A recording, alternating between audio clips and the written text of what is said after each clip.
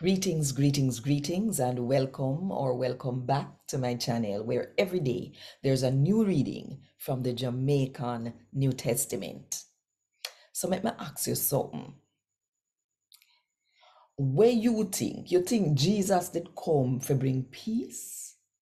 Or you think him come for bring war? Think about it.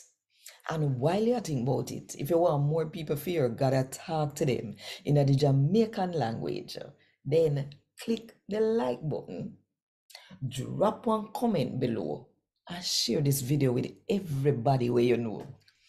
And if you not do it yet, may I invite you if you do it now, click the subscribe button and the notification bell too to make sure so you don't miss none of what I go on right here. So five o'clock Jamaica time every morning.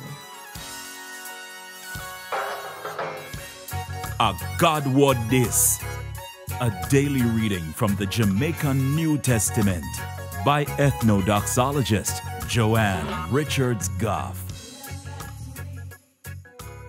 Today, we're going to read from the good news about Jesus as according to Luke chapter 12 from verse 49 to verse 53.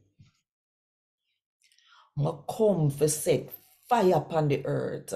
And boy, I wish it did light already.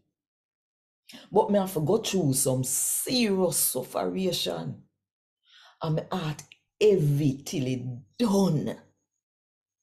You think me come for bring peace on earth?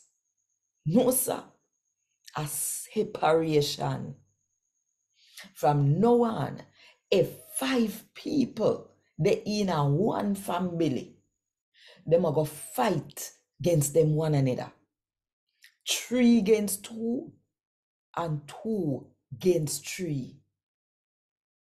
Them a go fight against them one another. Father against him boy pitney, and boy pitney against him father. Mother against daughter, and daughter against mother.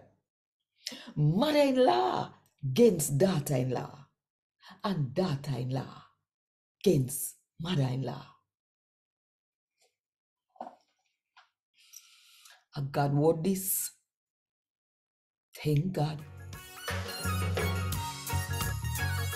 Want more info? Check the description box.